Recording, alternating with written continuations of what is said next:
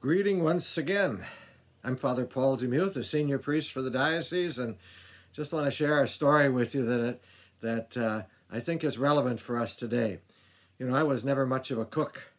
My mom took care of the food when I was growing up. When I went to the seminary, we had three squares a day, and as after I got ordained for the first few years, there was always a a, a woman there who would do the cooking for us. So I did okay. Back in 1975, my best friend of happy memory, Father Dave Kasparic, and I decided to, uh, besides working for the diocese, to take on the parish at St. John the Evangelist, downtown Green Bay. So we moved in together, and there I had another advantage because he was a great cook. And so uh, I, the agreement was that I'd set the table and I'd clean up after, he'd do the cooking. So there I was for a good eight years, uh, being served very nicely. And then he was transferred to St. Edward and Isidore in Flintville.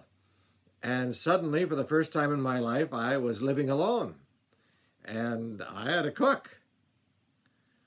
The surprising thing was that throughout those years, evidently, I had been unconsciously watching Dave, and uh, I had learned how to cook.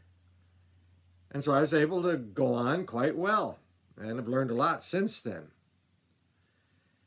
Well, you know, our church is a church centered around a meal.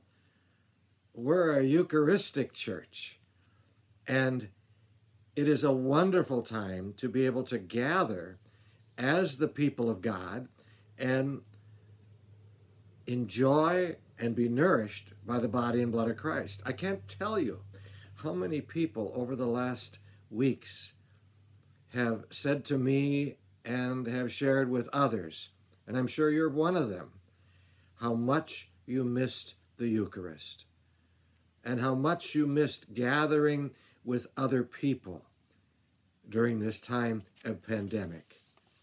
It's not been easy.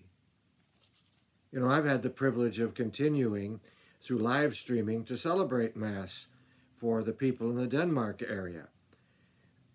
But it certainly was strange looking out into the church and not seeing anybody there.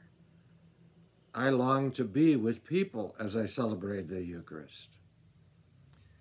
Well, friends, welcome back this weekend as we celebrate the feast of the body and blood of Christ, Corpus Christi. Welcome back to celebrate the Eucharist. What you and I take for granted, as I did with those meals that were provided me for so many years, is when it's taken away, suddenly a gift realized. And I hope that you're at that point in your life where you say, wow, I need to have the Lord Jesus walk with me. And I need to be with my brothers and sisters in Christ. That is, after all, what it is all about. We are a team, a family. And as we continue to receive the body and blood of the Lord, we are, in fact, being transformed into the very body and blood of the Lord. If perchance you've been at that stage of life where, well, going to Mass just kind of slipped by the by, or you haven't ever been going to church very much, maybe this is the time when you can feel reinvited and hungry for the Lord. It is the Lord Jesus who invites you, to invites you to become his body to become his blood, to become his person, and to do it in community with one another, our brothers and sisters.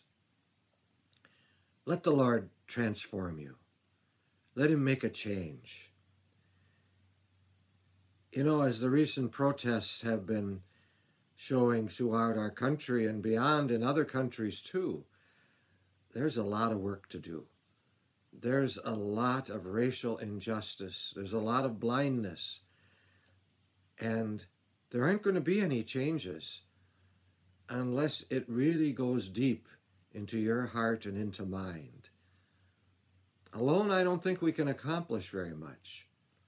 But together, with our brothers and sisters who are based in the faith and who are with the Lord Jesus, who is continually reaching out and calling others into his community of faith, together we can make a difference. Father Dave, thanks for subtly teaching me how to cook. And thank you, Lord, providing me and all of us with yourself, spiritual food for the journey.